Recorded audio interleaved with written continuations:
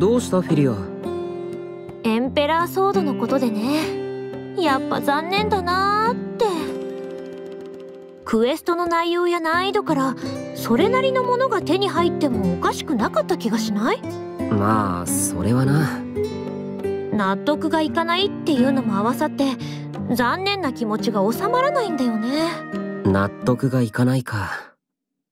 実は俺も気になる点がいくつかあるんだよ気になる点？フィリアがボスに紋章を手渡した時これで忌々しい剣が破壊できる？うん言ってた。忌々しい剣っていうのはエンペラーソードのことで間違いないと思うんだけど問題はなんで紋章を渡したのに剣の話が出てくるのかってところだ。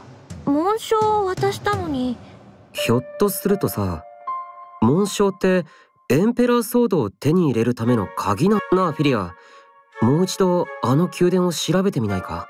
実はあの宮殿の中にはまだエンペラーソードが眠ったままかもしれない。そういえば王家の紋章はまだアイテム欄の中に残ったまま。ねえ手に入るかな？可能性はある。諦めずに探してみようぜ。そっか。諦めたらそこでおしまいだよねよーしそれじゃあ探しに行こうか。お元気になったな。元気がなくちゃレアアイテムは探せないからね。なら早速みんなを集めようぜ。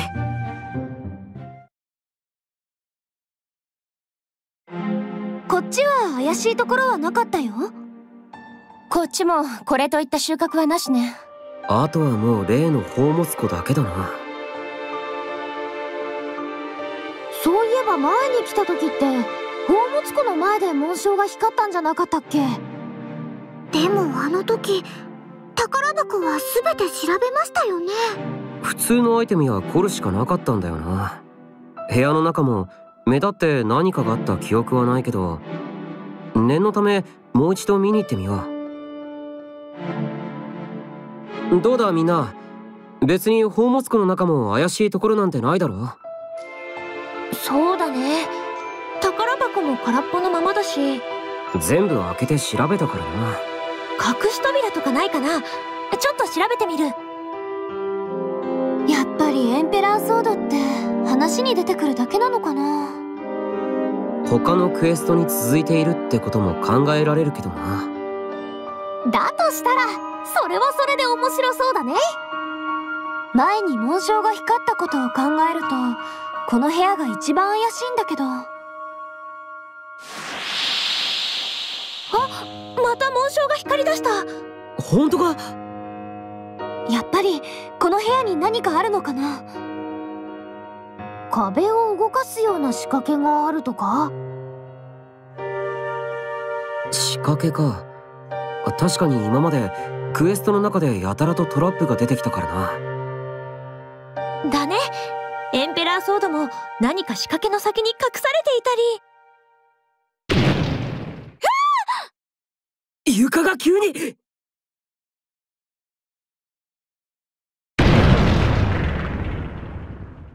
だ大丈夫か？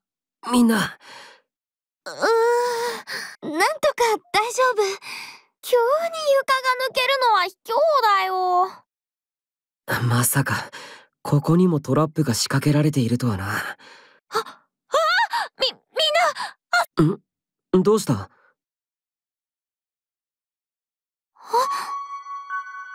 剣エンペラーソードだよね。え？本当おおフィリアやったな！あやっと見つけた。こんなとこに隠してあったんだね。さあフィリアエンペラーソード動けない。あーごめん。下敷きにしちゃってた。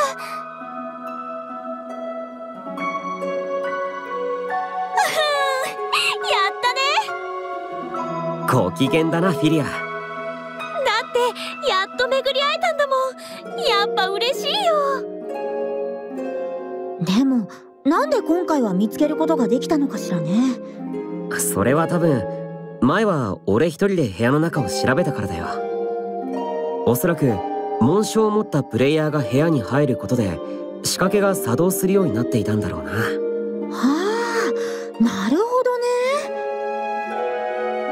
でもそれってつまりエンペラーソードを手に入れてからボスを倒しに行くのが本来の流れだったんじゃない？あ黙った。確かにボスと戦っている時ちょっとタフだなとは思ったんだよ。剣があればサクッと倒せたのかもね。まあでもあえて剣を使わないで倒すとかあんたらしくていいじゃない。俺には最高の武器がある。それは仲間だ。みたいな感じでさ。フォローされているのか茶化されているのかわからないんですけど。キリトこの剣は預けるね。俺が？だって諦めないで宮殿をもう一度探そうって言ってくれたじゃない。いやまあそうだけど。それに私はこうして見つけることができただけで大満足だし何よりもものすごく欲しそうな顔をしてるよ。ええだからみんなからのプレゼントだと思って。他のみんなもそれでいいって。あありがとう。それじゃあこの剣は俺が預からせてもらうよ。その剣を使って今度は私の武器が手に入るクエストを手伝ってね。私もエンペラーソードよりも強い武器が手に入るクエストないかな。おい。あっちゃー。みんなの手伝いをするとなると今回のクエストよりも大変そうだね。本当にな。でもそれだけの価値はあるよ。みんなで見つけたエンペラーソードにはさ。うん？よしこの剣でゲームの攻略を進めてみせるよ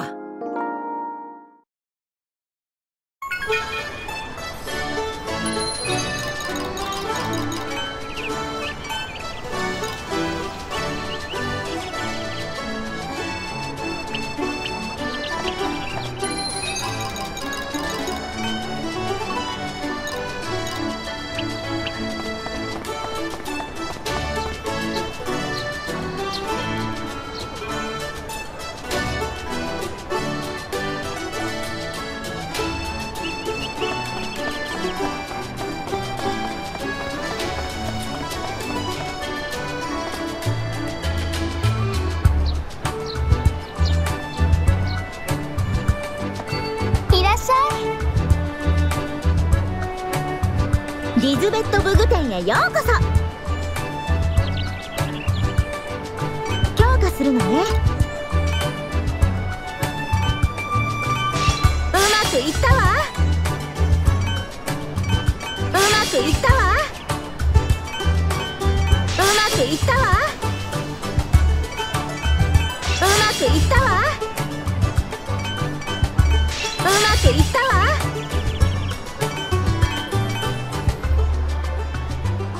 くいったわ。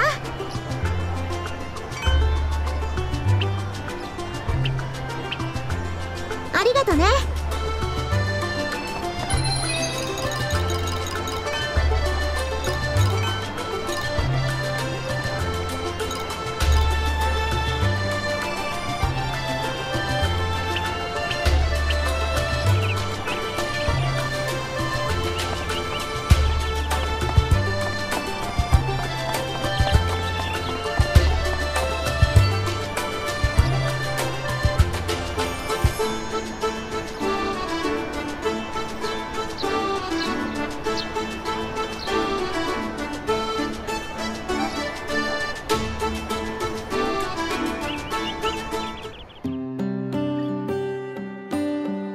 この辺りがいいかなと思って来てみたんだけど。ピクニックにおいて場所探しは責任重大。最高の場所とうまい飯が一つになってピクニックは完成するからな。最高の場所ですか？例えばさそこに寝っ転がってみなよ。こうですか？そうそう。そして周りの景色を見渡す。周りの景色広い草原の植物たちが風によって揺れています。景色は綺麗だし世界の広がりを感じるだろなるほど。綺麗で世界は広いです。よしじゃあここはピクニック候補その1だ。この調子で他のはい。最高を探し当てましょう。どうした？プレミア。こうしていると楽しいと思いましたみんなでピクニックしたらもっと楽しいぜ。そうですね。期待に胸が膨らみます。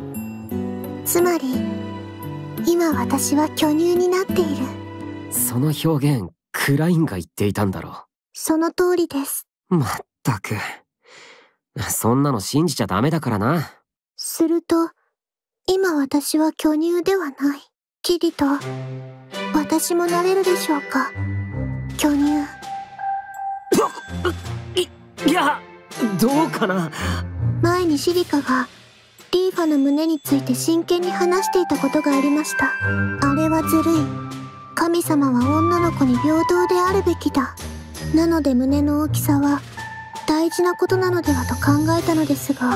だ大事かもしれないけどひとまずその方面の知識はこれ以上得なくてもいいからな。そうなのですか？わかりました。やれやれ。あプレミアにクエストマークが？クエストが進行したっていうのか？でも6つ目の成績は女神が2人揃わないと手に入らないはず。プレミアは俺とずっと一緒にいたのに。なぜなんだ？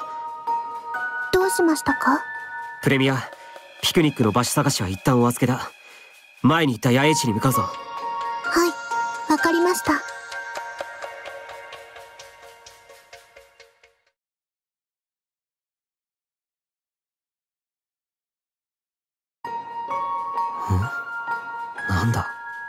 の違和感は前に来た時と。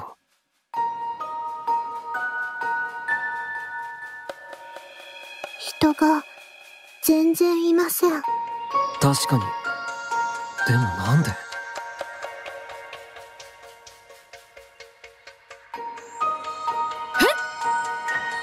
声がしたぞ。向こうだ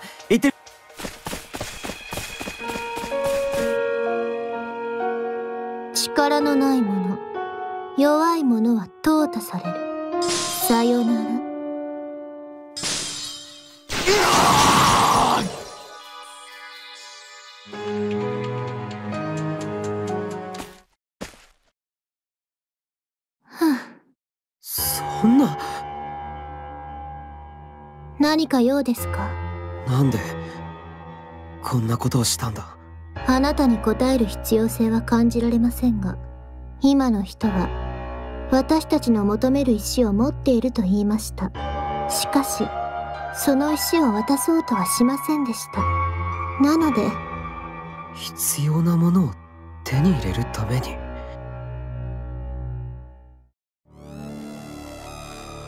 ようヒーローなかなかしつけがなってんだろジェネシス。結構苦労したんだぜここまでにするのは。お前がやらせたのか。面倒なクエストはこうして NPC をぶっ殺すとショートカットになるんだけどよこのゲームでは NPC を攻撃すっとブルーカーソルになっちまう。それでその子に NPC を襲わせた。冴えてんだろこれからはこの攻略法が流行るぜ。こいつ普通の NPC と違って挙動がおかしいくせに学習スピードだけは異様に速くてよ。他のゲームの NPC とは大違いだ。いい道具になるぜ。マスター石を手に入れました。時間がかかりすぎなんだよ。もっと早く済ませろよなぜそうまでしてクエストを進めようとするんだ？おいおい記憶力大丈夫か？前にも言っただろ世界が崩壊するなんて楽しそうだって。目の前に楽しそうなクエストがあんのに。それをクリアしない VRMMO プレイヤーなんているかいないだろあ何が起きた？クエストが進行したんだそれによってインスタンスマップだった八重地から追い出された。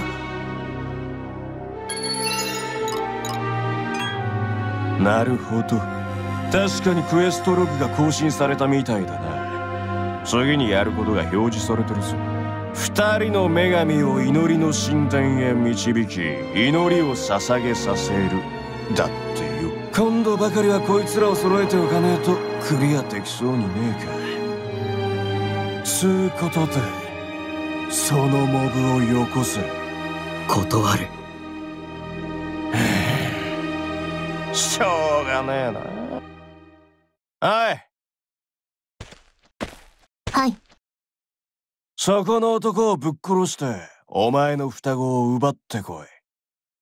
わかりました。さあどうする？モブのヒーロー様お前にこいつを切ることができただの NPC だぜ。やっちまえばいいんだよ。さあ始めろ。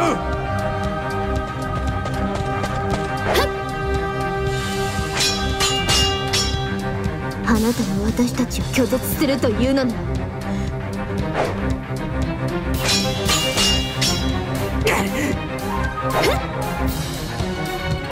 攻撃もジェネシスが教えたものでそれをこの子は正しいことだと信じて俺に向けている。や！っこのままさばき続けるのはさすがに無理だぞ。なぜあなたは攻撃してこないのですか？なぜって君と戦う理由がないからだ。戦う理由俺はこの世界をこの世界にいる人たちを失いたくないその中には君だって含まれているんだ。私。も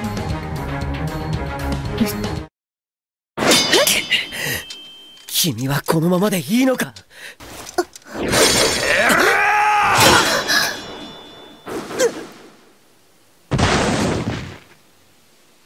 相手は一人じゃないって忘れてんのか？あ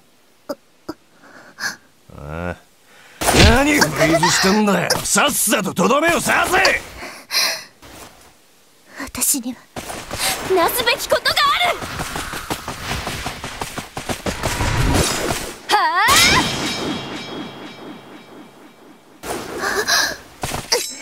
あ？アスナこれは二人の約束。キリト君は私が守る。間に合ってよかった。アスナ来てくれたのかおい女。おとなしく引きなさい。すぐに私たちの仲間も駆けつけるわ。は？あ脅しのつもりか？お前ら雑魚が何人集まろうが問題じゃねえんだ。仕方ねえな。俺が片付けてやる。前と同じだ。戦いの前にメニューを開いて入ってきたぜ。最高の感覚がよ！アスナ気をつけろ。奴のアジリティは異常だ。行くぞ俺！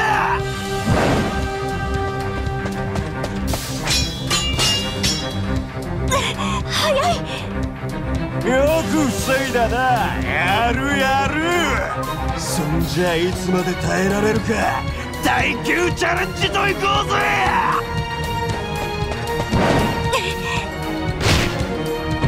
アスナさせるか!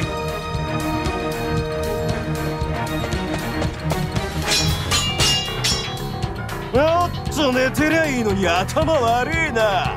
仲間を傷つけられたくないってか?いいぜ。2対1でも何でも来いよ撃の一つ一つが早すぎて踏み込むタイミングがつかめない。おら腰が引けてんじゃねえのか！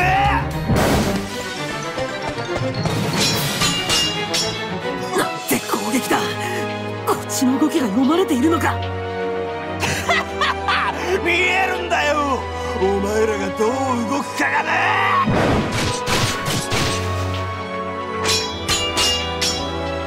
分かったろ実力の差が。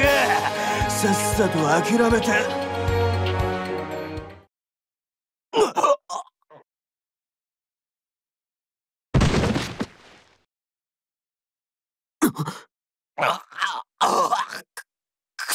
な、なんなの？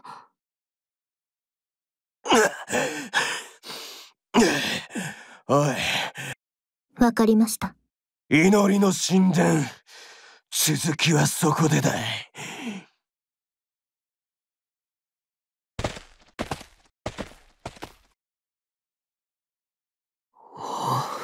どうしたんだろう？急に。わからないそれよりも来てくれて助かったよ言ったじゃない。君のことは私が守るって。ありがとうアスナプレミアちゃんは大丈夫？はい。私は何も問題ありません。よかった。二人とも無事で。町に戻ろうみんなにも話をしないと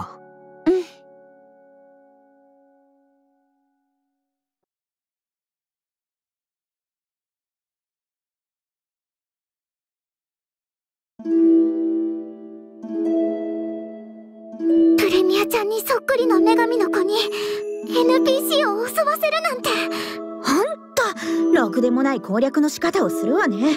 でもそれができちゃう時点で遊び方の一つってことになっちゃうんだよね。全然納得はできないけど。ああ。ジェネシスの言うがままなのか。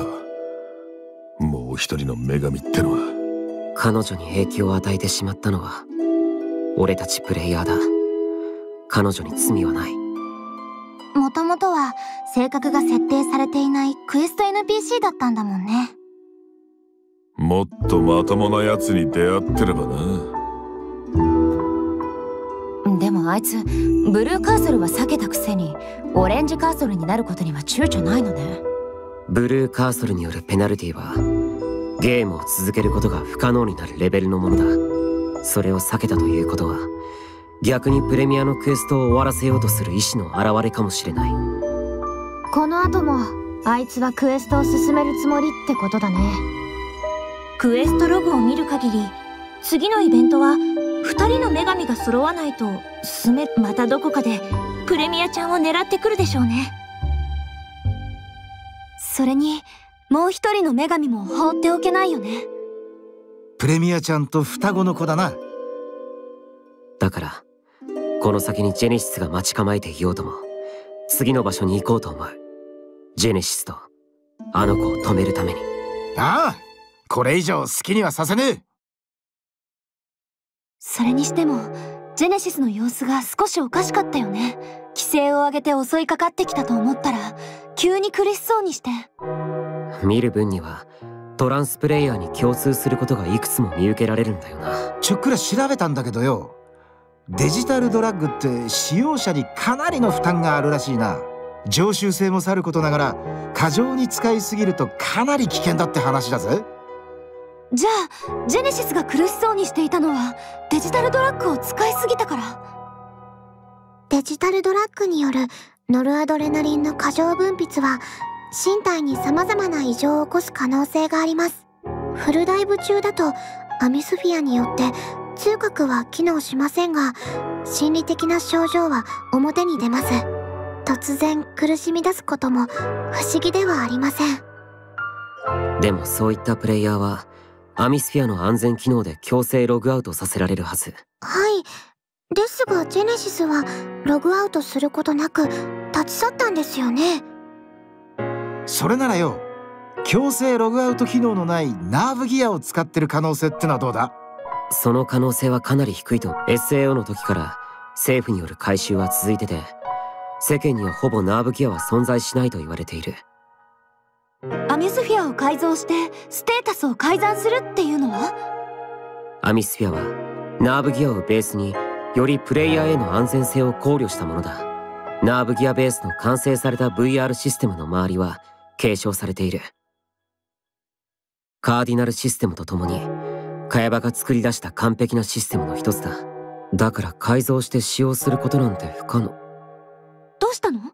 いやちょっと待てよ。アミスフィアは確かにナーブギアの後継機だけど全ての機能が受け継がれたものじゃない。むしろ茅場が絶対につけなかったものがついている